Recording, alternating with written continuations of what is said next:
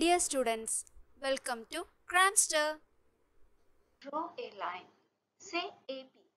Take a point C outside it. Through C, draw a line parallel to AB using ruler and compass only. Draw a line AB. It has been given in the question that we have to take a point outside AB.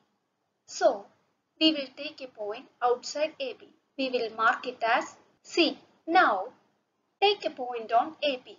We will name it as D and join D and C.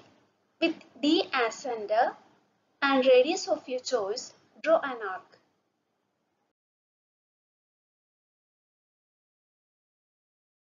Without changing the compass width, place compass on C and draw an arc. Now measure the length of this arc same length draw an arc here. Now join the intersecting point and C to draw a line MN.